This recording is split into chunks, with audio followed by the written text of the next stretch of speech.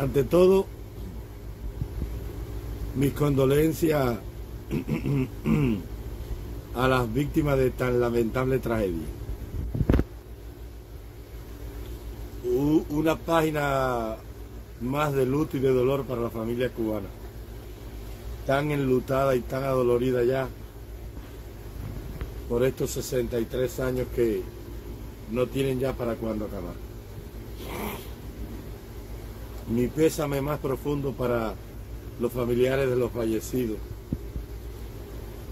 para, para el pueblo de Cuba, para los que de una forma u otra tienen un herido, tuvieron un fallecido o, fueron víctimas de, de tal lamentable tragedia. No escampa para Cuba y no para de llover. De llover. El avionazo, la pandemia, con su carga de, de enfermos y muertes, el 11 de julio, los presos políticos, el hambre, la miseria, la desesperación, el exilio forzado, el dolor infinito en el corazón de las madres alejadas hoy en un día tan significativo y tan especial de sus hijos. A todas ellas llegue desde lo más profundo de mi corazón el más sentido beso y el más tierno y dulce abrazo de un hijo de Cuba, de un hijo de la patria, de un hijo de ustedes. ¿Qué pasó en el Saratoga? Una bomba, un atentado con una bomba, un coche bomba, una carga explosiva, un accidente. Fue un accidente. Porque conociendo yo cómo funcionan los temas en Cuba, esto de, los explosivos C4, C5, de la, de, la dinamita TNT y de cualquier explosivo sintético, líquido o sólido que esta gente tengan, es, muy difícil que haya sido una bomba puesta intencionalmente por ahí. Y como muchos dijeron por ahí, no, tal vez fue el gobierno cubano que la puso para, para ganarse la aceptación del pueblo en este momento difícil que atraviesa. No, esta gente no llegan tan lejos. Yo te dije un día que la, la represión de esta gente es una represión científica. Que tú me digas que en el avión de Barbados transportaban explosivos y que por la presión explotaron y entonces para salvar las culpas culparon a Posada Carriles, a Bosch, a Freddy Lugo y a, Hernán, y a Hernán Ricardo, yo te lo creo. Que tú me digas que, que en el remolcador 13 de marzo, en la locura, en la rabia, en la impotencia de la noche, mataron a toda esa gente con la sangre caliente, te lo creo. Pero no creo que, que Fidel Castro haya dado una orden de matar 42 niños así. Fidel era un asesino, pero no mataba niños. Fidel era malísimo, reverentemente malo, pero no llegaba tan lejos. Yo creo que lo que pasó en la noche del remolcador 13 de marzo fue un incidente que se le fue de la mano y que al no tener a quién culpar, porque si culpas a los mismos esbirros que hacen tu trabajo, entonces la gente ya no va a confiar en ti, culparon a, todo el mundo y dijeron que había sido un accidente. Que no fue un accidente, fue un incidente que ellos provocaron, pero que, que por esas cosas que pasan, se le fue la mano. Como se le iba la mano a los esbirros de Batista en una sesión de tortura.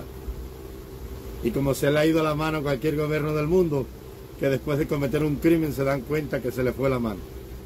Y no estoy justificando a la Habana, pero te estoy diciendo más o menos para que veas que, que fue un accidente. Y no tuvo que ser mala manipulación de, del gas, un descuido, una válvula defectuosa, un reloj de presión defectuoso, el gas se calentó, llevaba mucho tiempo el depósito vacío y tenía gasos dentro y fluyeron frío para caliente y caliente para frío y, y eso trajo consigo una implosión. Puede ser todo eso. Pero, pero créeme que yo te digo que fue un accidente, porque si hubiese sido un atentado, el gobierno cubano lo tiene que reconocer al momento, porque es fácil, es fácil de reconocer que es un atentado. Tú coges un pedazo de los escombros, lo llevas a un laboratorio y sabes si se usó dinamita, eh, C4, C5, cualquier explosivo líquido o sintético, plástico, se, sabe todo. Con una simple piedrecita se sabe todo. Así que no, no tiene sentido ninguno decir que fue un atentado y que esta gente lo escondieron. Creo que no. Y están muy preocupados con lo que pasó, porque de hecho fue un accidente. Un accidente terrible donde tenemos que lamentar una vez más la pérdida de, los hijos de la familia cubana. Una cosa que en cualquier lugar del mundo puede pasar. Y esperemos que tomen medidas para que nos pasen nunca más. Porque siguen perdiendo público, gente y credibilidad.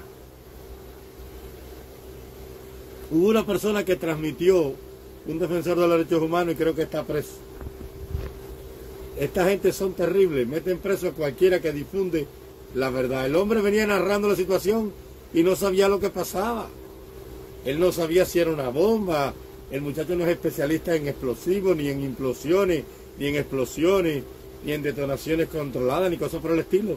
Él venía narrando y se lo llevaron para Villa Marista, como hace esta macabra y pérfida tiranía, con todo lo que hace. Pero tienen que soltar ese muchacho. Porque tú no puedes esconder la verdad. El pueblo fue el primero que fue a socorrer. El aplauso es para el pueblo. Que se metieron debajo de los escombros. Que se arriesgaron a morir sepultados por un derrumbe. Y esperar las investigaciones a ver qué dicen ellos. Fuera de eso no tenemos nada más. Todo lo demás que nazca de aquí son especulaciones. Pero créeme que, que lo, el 99% de la probabilidad es que sea un accidente. Porque ellos no van a ser locos de decir que fue un accidente cuando fue una explosión provocada por algún explosivo sintético plástico, porque solamente con un fragmento de roca ahí quedan los restos de la explosión. Y se sabe si fue de afuera para adentro, de arriba hacia abajo, si fue explosión, si fue implosión, si fue provocada, si fue accidental, si fue gas metano, propano líquido, todo se sabe porque la materia deja huella en todo lugar. Como mismo tú utilizas un arma y te hacen la prueba de la parafina para ver si tiene residuos de pólvora en el cuerpo, así mismo se hace con el explosivo. Se coge una roca, se lleva una muestra a un laboratorio y se sabe automáticamente qué cantidad de explosivos se utilizó, qué explosivo se utilizó y cómo fue la explosión. Si fue con un detonador, si fue con una bomba de tiempo, si fue con un reloj, se sabe todo si fue con una descarga eléctrica, todo se sabe. Porque para eso hay una ciencia que se llama criminalística. Y están ahí los especialistas en explosivos para eso. El MININ tiene un departamento para todo este tipo de cosas.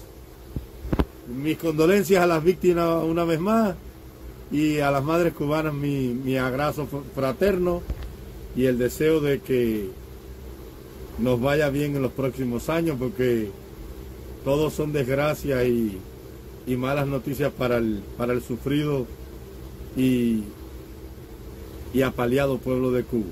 Feliz Día de las Madres y mi amor y cariño, mis oraciones y mis condolencias para los heridos de este lamentable accidente y paz y consuelo para los familiares de los seres queridos que se han perdido. Que viva el glorioso pueblo de Cuba y patria y vida que viva la libertad.